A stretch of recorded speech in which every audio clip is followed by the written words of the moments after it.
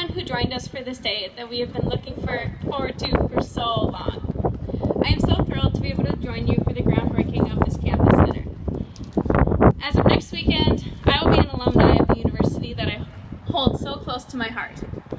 Although I will not have the opportunity to use this campus center as a student, I couldn't be more excited about the groundbreaking of a center that will be the heart of a university and will bring so many students and people from the Bismarck-Mandan community together.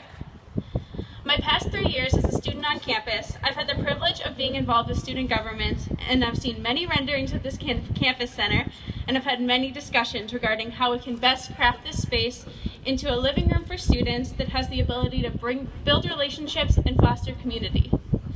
I am so eager to return to campus as an alumni, as many of my fellow students are here as well, and to see UMary's vibrant future and remember that I was here for this exciting groundbreaking. UMary has an incredible future with big plans, and I'm so glad that next week I'll be a proud alumni and get to spend this special day with you all. Thank you.